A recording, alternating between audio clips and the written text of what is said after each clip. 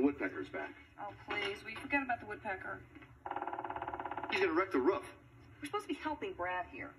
All right, all right, all right. Okay, all right. Eight times three. Eight times three. Eight times three is 23. 24.